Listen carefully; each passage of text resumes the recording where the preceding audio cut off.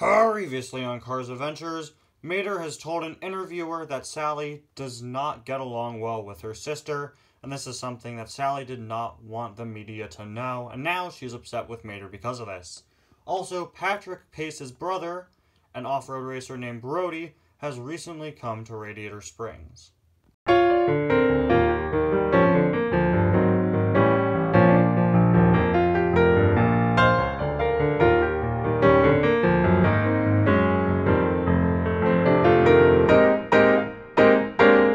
Well, clearly you've gotten Sally upset, Mater. Look, maybe I'll go talk to her, okay? Maybe things will be better if, if I go talk to her. hey, Lightning. Hey, Mater. Hey, Brody. Hey, Brody. How's it going? Pretty good. Great to see you guys. So, Patrick. Yeah, what's up, Brody? Tell me, man. What do you usually do? What's like a day in the life of a Radiator Springs police officer like? Well, usually I just hang out, you know, do patrols, see if anybody's in trouble, see if anyone's breaking any laws or rules. It gets kind of boring sometimes. I mean, a lot of times, sheriff, when he's on duty, he'll just fall asleep by the Radiator Springs sign. and I mean, so do I, like, frequently. And what about those protectors of Radiator Springs you've told me about? Well, sometimes, you know, we have bigger missions, and uh, somehow this little town has garnered quite the group of enemies over the years, so, you know, sometimes I'm needed to do uh, bigger cases with some uh, secret agents and a few other cars. Oh, interesting. Yeah, yeah, we've done a bunch of things. We've tracked down cars around the world and, you know, stuff like that. Cool. Cool. So is there usually just, like, this much sitting and waiting in your job? Yeah, pretty much. Actually, crimes around here happen pretty infrequently. Thief! Thief!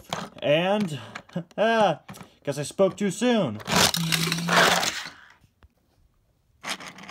Thief! Thief! Hey, Sarge, what's going on, man? Somebody took my fireworks. They were right over here, and somebody took them. Okay, all right, do you know who did it? Was it Fillmore?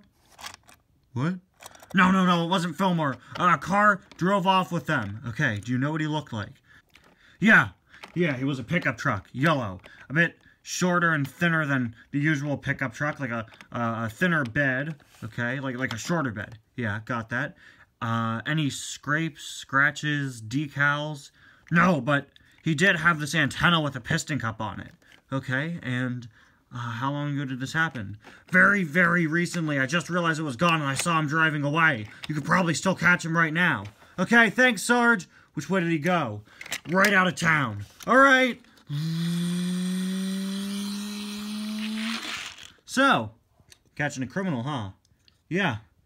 Yeah. Can I come with you? Well, I don't see why not. It's always nice to have backup. Great! Alright, where is this guy? Sarge said he's right out of town. I can't talk now, okay? We gotta talk and move. Uh, okay. We are looking for a yellow pickup truck with a piston cup antenna. Um, okay. And Sarge said he just saw him leave town. We could still probably catch up to him. Alright, I'm right behind you, man.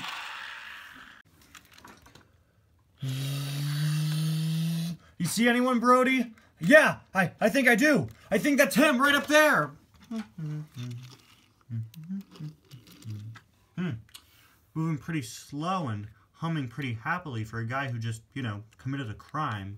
Yeah. All right, let's catch up to him.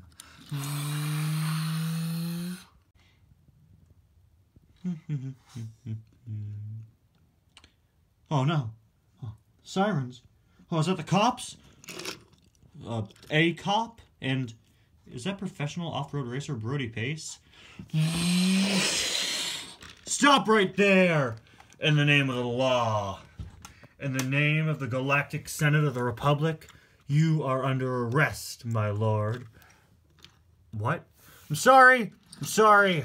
It's my brother's uh, first day on the job here. Why are you quoting a Star Wars movie?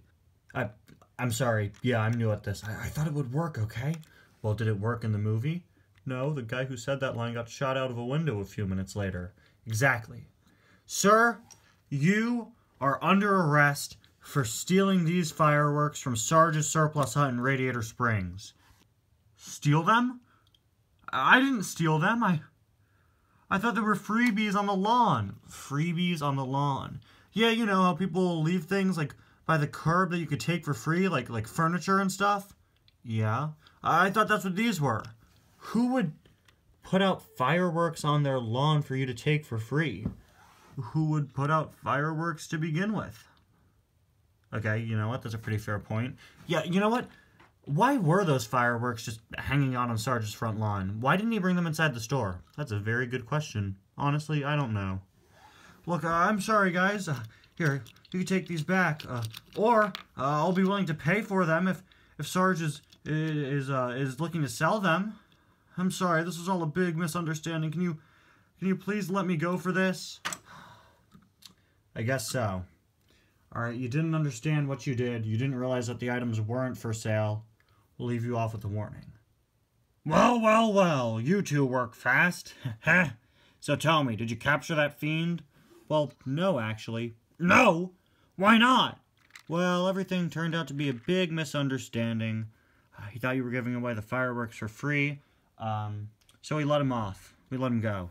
And we brought the fireworks back. Oh, okay. Where'd you put the fireworks out?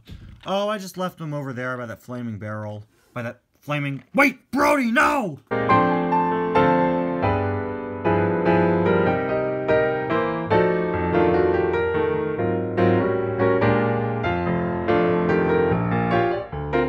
The Senate will decide your fate. I am the Senate.